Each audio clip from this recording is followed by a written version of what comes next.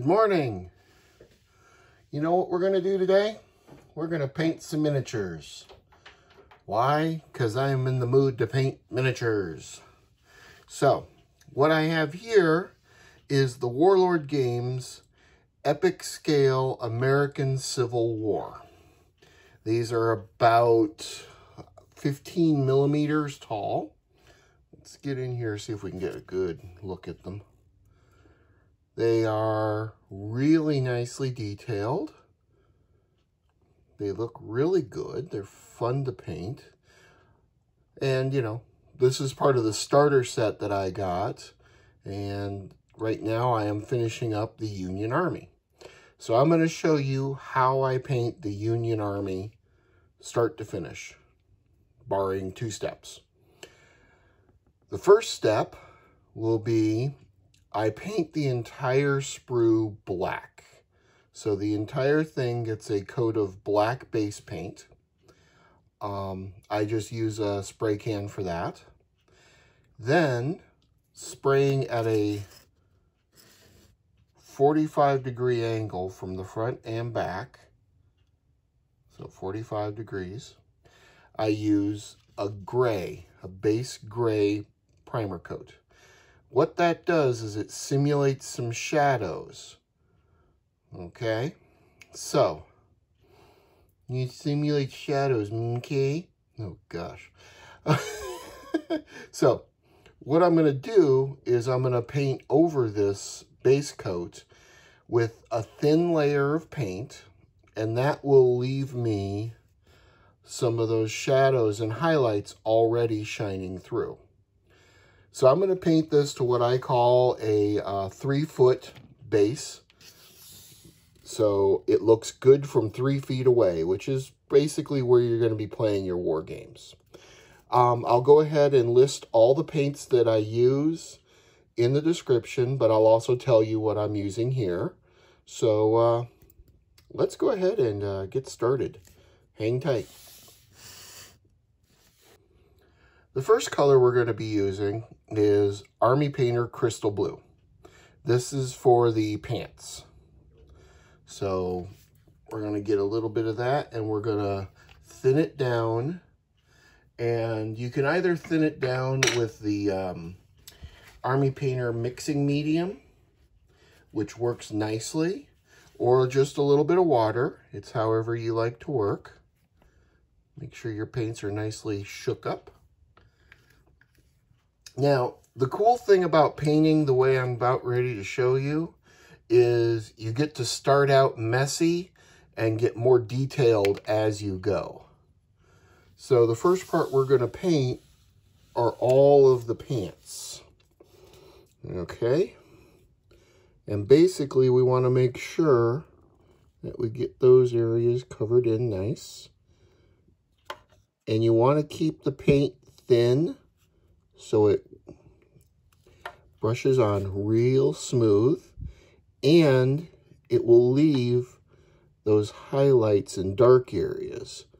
So wherever there's a dark area, the paint will dry just slightly darker.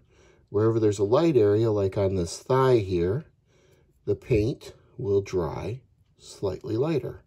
That will give you some automatic highlights in your painting. I'm attempting to do this through a magnifying glass. Usually I wear a pair of uh, magnifying uh, a headset. Right now I'm trying to use a um, magnifying lamp so that you guys can see what I'm doing and I can see what the hell I'm doing. now if you like my work, please make sure to like and comment subscribe, hit the little bell icon so that you can uh, see all the good stuff.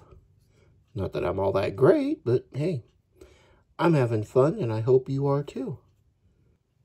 Now, like I said, you want to keep your paint good and thin. It's It'll be a smoother brush on. If you need to make a second coat, you make a second coat. It's not that big a deal. I have to admit, I love wargaming. It's a lot of fun. And of course, part of the hobby is the models.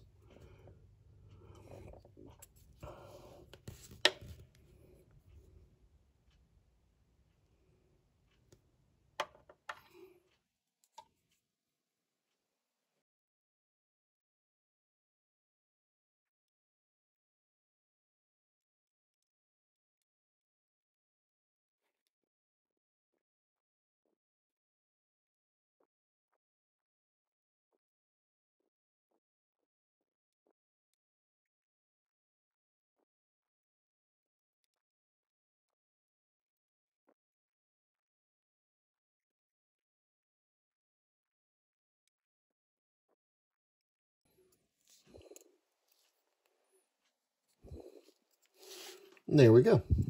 Now, one thing I like to do is I like to make sure I look down the row here and see if there's any spots that I might have missed on the inside or outside of the leg. Just to do a little bit coverage, make sure everything's good. And we're looking pretty good there. And that is the pants done. Next up, the tunic. Okay, move the angle of the camera a little bit so I can try and keep it from focusing on my big ass thumb. and we can focus on the paint a little bit more. Uh, I apologize for that. That's okay though. We'll just keep going. So, for this, for this, we will be using uh, Army Painter Deep Blue. This will be for the tunics and the hats. Okay, so same as before. What we want to do is we want to start with a nice thin paint. And this is where I'm talking about being sloppy. Doesn't matter, as long as your paint is nice and thin, doesn't matter if you get on some of these details okay? Because we're going to come back through and we're painting from bottom up, okay? So as items are basically worn on these guys, the only place you need to be careful is down here by the by the trousers. You don't want to paint over your trousers.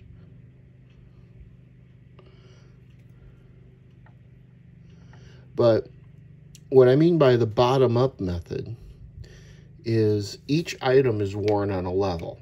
So the pants are under the tunic.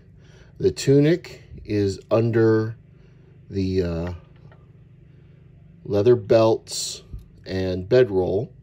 The leather belt and bed or the leather belt is under the bedroll, and the bedroll is pretty much the last thing. Then I go in and I'll paint the faces and the muskets. That way, it doesn't matter if I accidentally cover up a leather strap here and there because I'm going to come back to it. And like I said, if I'm keeping my paints good and thin like this, then it won't matter. I won't lose any detail, that sort of stuff. And once again, the reason I'm, the other reason I'm doing this is you will get the variation in the paint with the shadows and each person's uniform. Because you got to remember, the uniforms were, you know, well, for lack of a better term, uniform. However, they all were in different states of wear.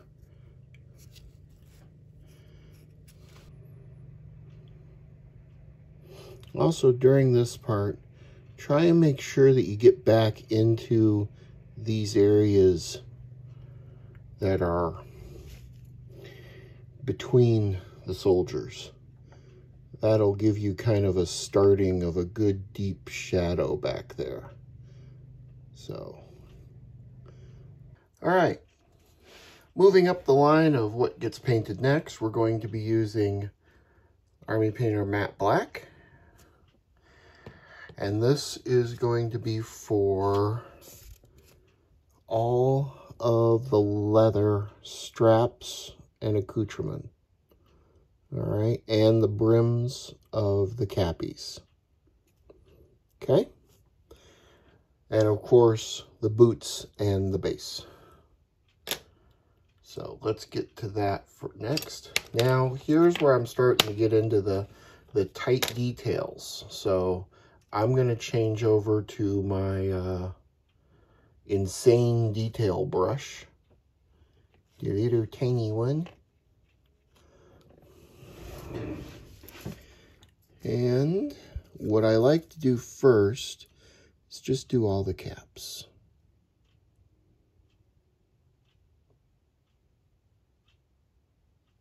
I use the edge of my brush to catch that edge of the brim. And just like that, get those caps out of the way.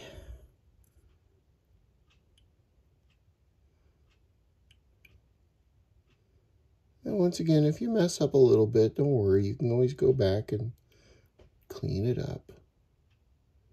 There we go. Okay, all those caps are painted. Next, I'm going to start on, now I do this front, I do the front, then I do the back. I start and I look for all of the leather pieces. So there's a strap right there.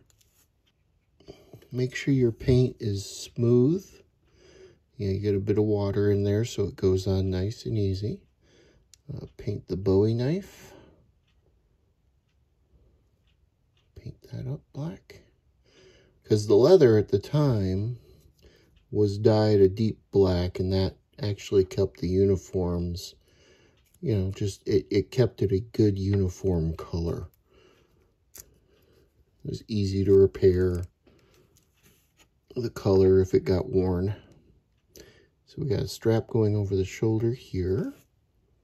Now, in a minute, at the very end, I'm going to go ahead and paint the weapon, his sword black, and his hat black.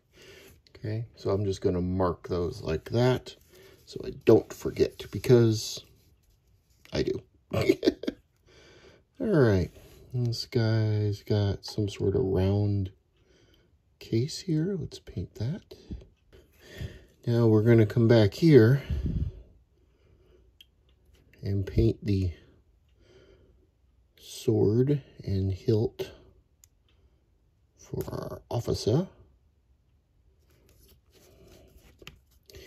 Yep, basically gives the uh, gunmetal and silver colors, that the metal colors that we're going to use a nice base. They seem to really pop when their base is black. Then we're going to do his hat.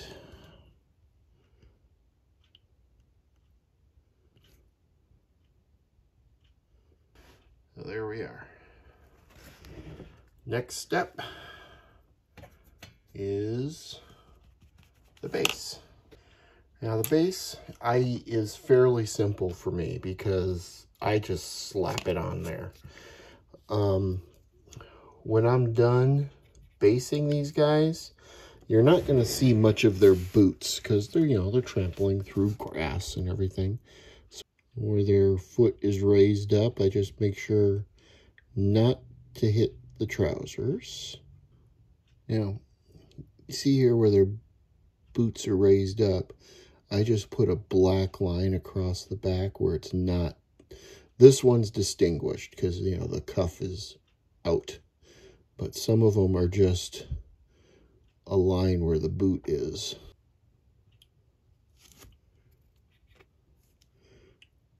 And if you want to do, like, mass painting your armies, which is probably the easiest way to get these done. What I'll do is I will paint each color on each unit. So we'll do the pants first for every unit in the brigade, then the tunics, then the black, then the khaki, just working my way down. And the next color up is Vallejo Model Color Khaki. I don't know what the Army Painter version of this is. I just don't happen to have it with my set. So we're going to go with the khaki. And this will be for, let's go ahead and flip it around so you can see it better. These bed rolls, these hats that are going to be different colors. And then I also use it to paint the skin of the drum. Okay, so what I generally do is I go to the back first. And this way I can make sure I get the ones on the front because sometimes it's really hard to see where they are. So this guy has one and we're going to just paint it nice and even. Okay, and he had one. That's the other trick is if I can't see it, I can flip it over and go, there's one. So he up there it is. Yes, I can see where it is now. Okay, and we'll get the hats. And it's funny because each step as you go along gets faster and faster because there's less and less to paint on each sprue. And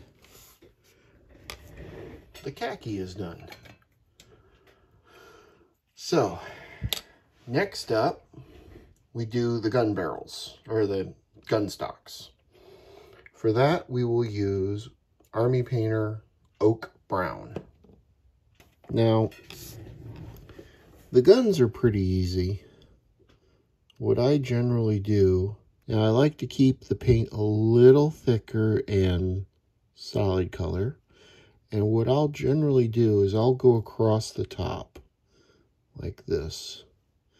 And I'm going to paint all the tops of the gun barrels pretty much right up to where they meet the cap or the body of the soldiers.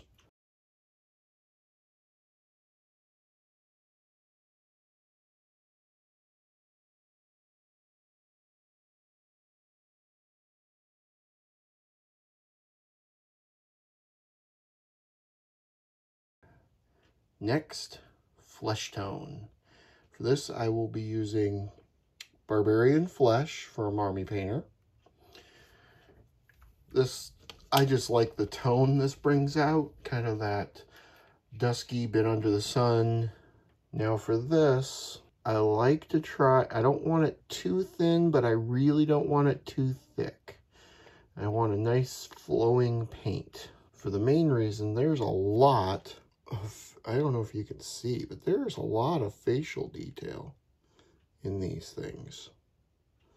And these guys have beards and mustaches and some of those mutton chop things that they did in the Civil War. So I understand that this method of painting, you know, all of these details probably make it take longer, but I figure someone's gone to all the trouble to actually put these details in, might as well paint them. We've got all the faces done. Now we get the hands.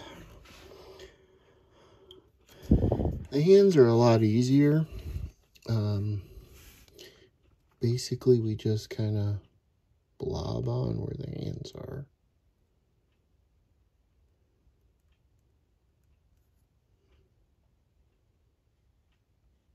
Okay, everything is dried. Now we're going to make them pop.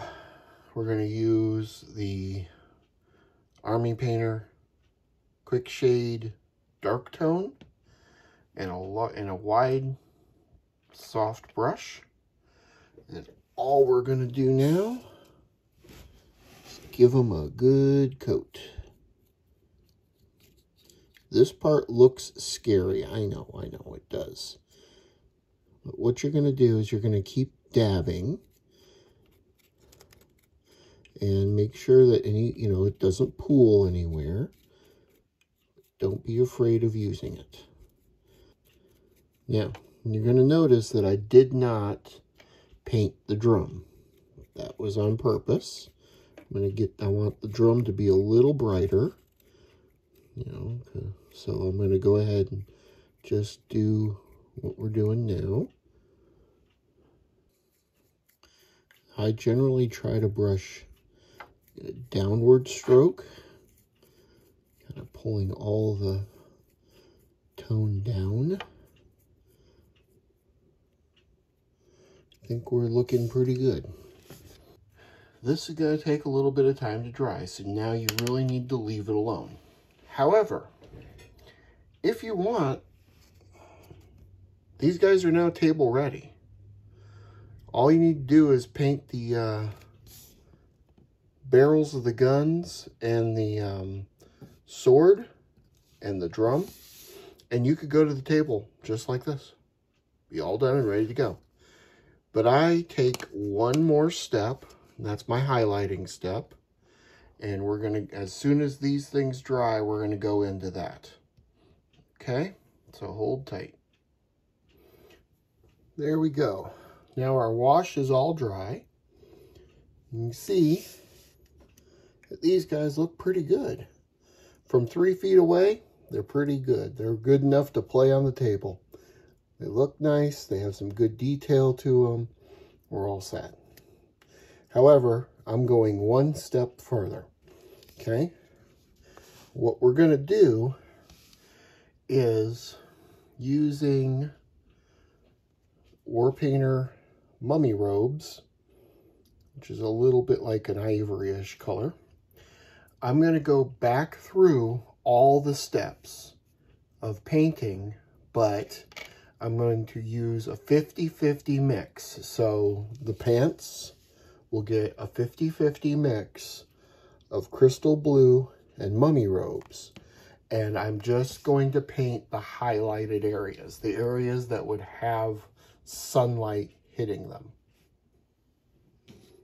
Okay, so we are going to hit up any area that is higher or in the sun. So that would be the tops of each of their upraised legs, just like this. And that's all it is, just a nice little... Go to the back. And basically, once again, any place that's highlighted out. So the tops of the calves, these cuffs,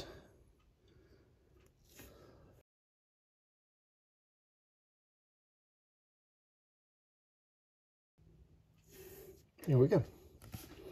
So that is the highlights and the pants done.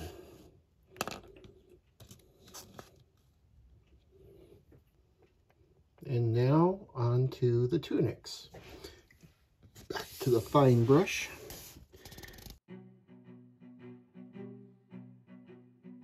And basically just a little bit of edge color, a little bit on the top there just to pick out a little bit of color reflection highlight. And now we do the arms. Now, once again, on the end, guys, I kind of put a little bit out here to the side. And what I generally do is I highlight the cuffs and the shoulders or anywhere that's standing, that's kind of moving forward. Any of these folds that you might see in their uniform, try to highlight those.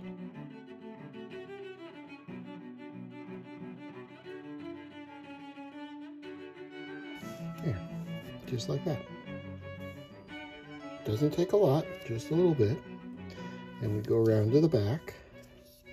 The back is pretty easy. What I do is I just touch the shoulder, maybe a little bit on the back, and a cappy I give a little dab.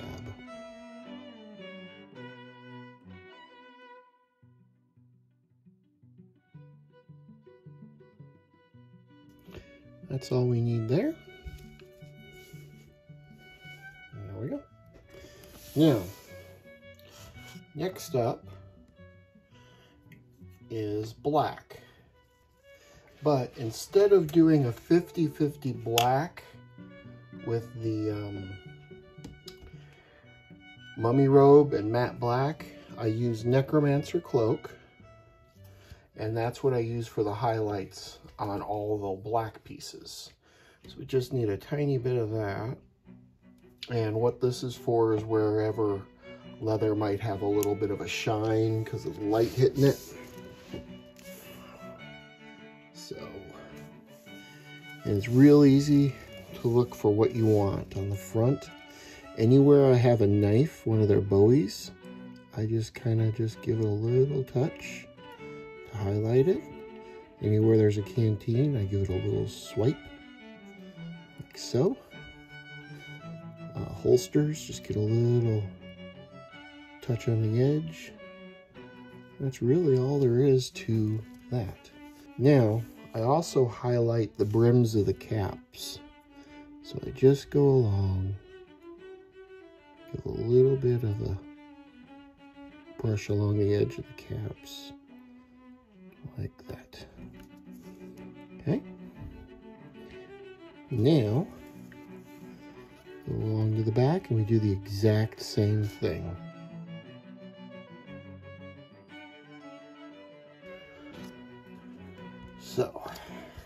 Still looking good. Now we're back to the 50-50 mix, this time with the khaki. What we're going to do with that is we're going to highlight any of the tan hats.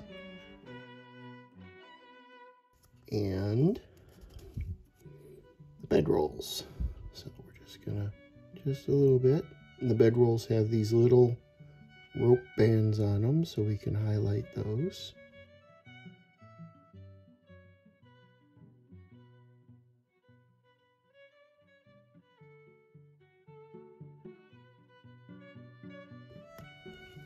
That's the khaki all done.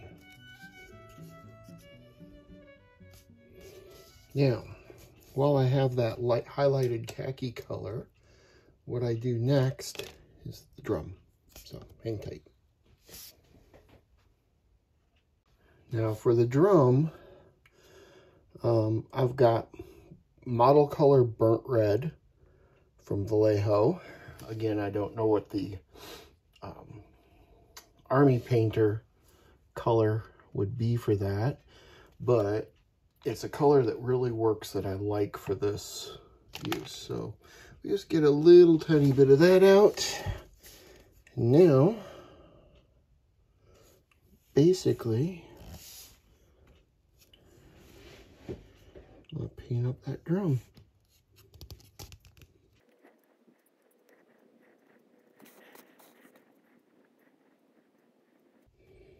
Okay, now that part painted, I go right back to that light khaki color, the 50-50.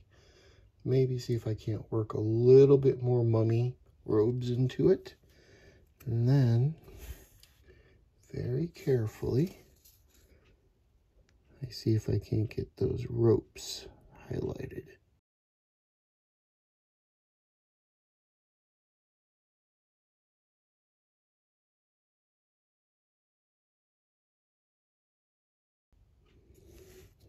There we go. Much better. Now, there's only two steps, well, three steps left. Next, I use Army Painter plate metal. And this is for the gun barrels and the uh, triggers.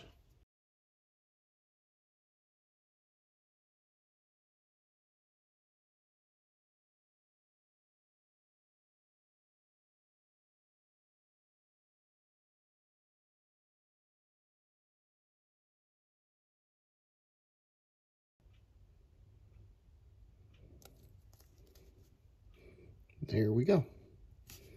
All the barrels are painted. The next color I use is Greedy Gold Army Painter. Now all this is, is for the brass accents on the um, uniform. I tried using brass and it kind of, it doesn't come out nearly as good as I'd like it to. So we're gonna, I found that the gold color really works better. And the only things you pick out here are the belt buckles and the chest plate piece. So there's a belt buckle. There's a belt buckle. There's one. On the commander, we got his basket hilts.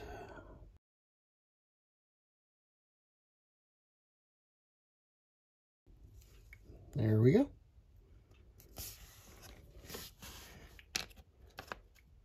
That is the unit completed. All set and ready to go. That's all it is. Just a few steps and that's how good they look. Now all that's left to do is add them to their unit and base them. Oh, and put their flags on. We'll get to the flags in just a moment. So let me let these dry and we'll come back and finish them up completely. Okay, they're all dry and I pulled them off their little wooden stick. So now all I do is add a little bit of super glue to their base.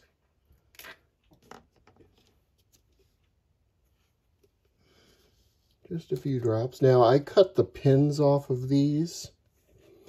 Um, because I wasn't sure how I was going to want to paint them. And the next set I paint will uh, actually leave the pins on. But this does give you the option of slightly offsetting your lines to make them look a little more ragtag. So we just tack those guys on just like that. And there we go. Next up is the flags. Now, Warlord Games was kind enough to give you unit flags in paper, which are very nice. So we're going to do this one up as the 20th Infantry, 20th Indiana Infantry. Now, what they have, what they're doing is they're wrapping the flag around the flagpole. That's why you have this big gap in there. I don't like the way that looks. That's just me. I don't like that. So I attach them straight on. Now just using basic old Elmer's glue.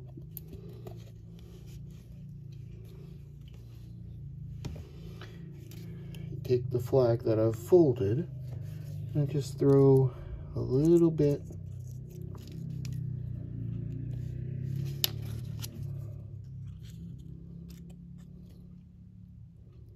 Oh, that's more than enough, but then we just spread it out with our fingers and close it over. Now, you can use super glue, that's fine, but there's a reason I use Elmer's glue. That'll become apparent in a minute. Okay, so once this is all tacky and it's holding, what I do is drop it. so I get a marker. Just a simple black permanent marker with a good chisel edge. And then I draw down that outside edge. That gets rid of those, that white right there.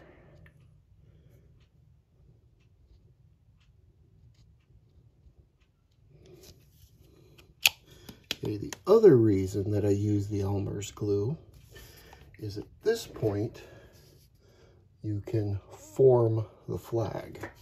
So I'm going to make it a little wavy and bendy, like so. And we're going to let that dry, just like that. We set that aside. Both flags have been folded and molded and left to dry. Now the only thing that's left is to attach them to the unit. So, first thing we do is trim off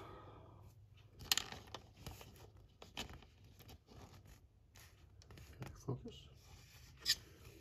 Trim off the extra on the back.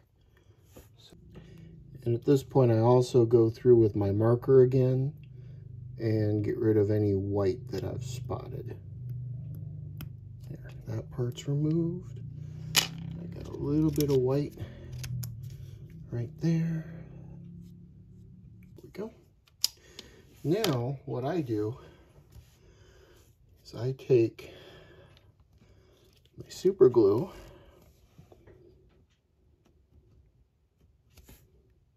not too much and run a bead along that edge.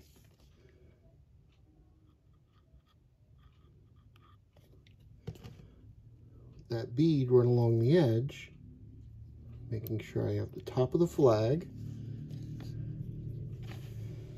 I basically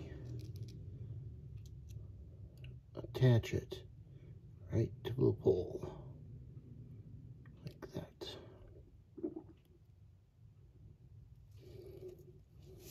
Just like that. That's all there is to it. Now, I'll admit these are not as secure as if they were looped around the pole, but I like the look that this gives much better than that loop. And what I can do later is go back with a tiny bit of extra super glue on an old brush and paint that really well along that edge. And there you go. One Union Command Unit, all finished. The last part we do is we go ahead and take care of the basing. Now we just have the basing to do. And what I do with the basing is I just take some white glue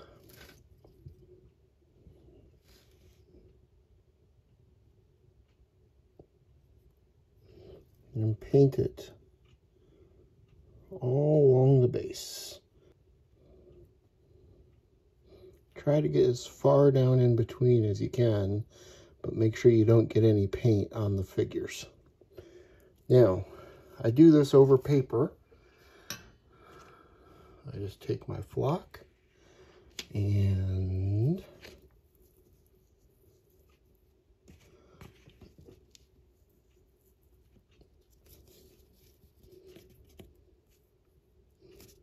away we go.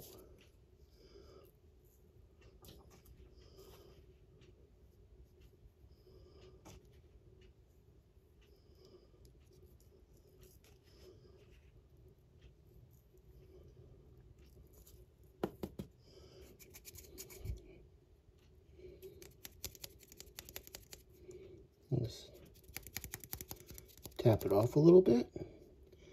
And I usually wipe off the edges. I don't really want anything on the edges. So we let that sit for a minute. Let's go ahead and add a tiny bit of static grass.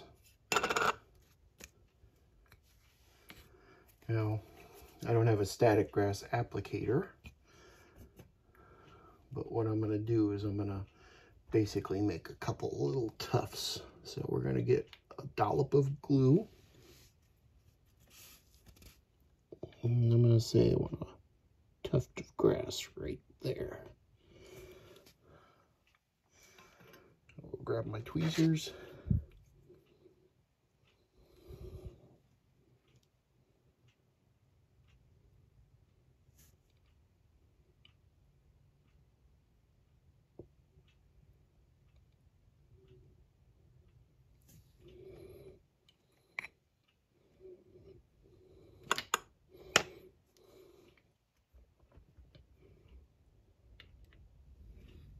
Put another one right there.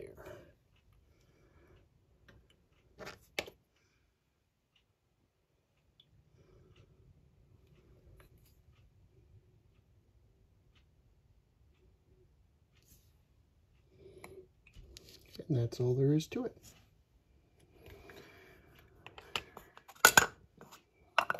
Now, of course, I know you realize why I'm using the paper.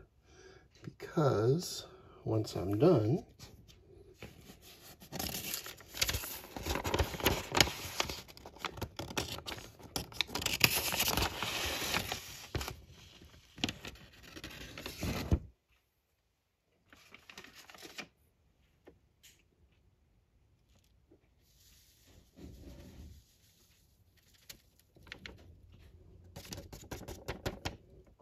Yeah, I don't waste any.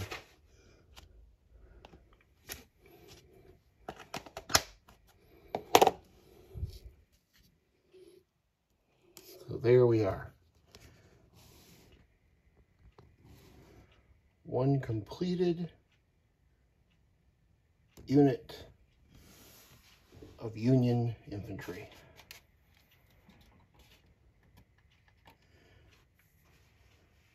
I hope you liked this little tutorial.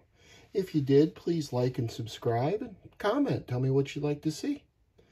All right, so as always, keep on modeling and uh, have a great day. I'll see you later. Take it easy.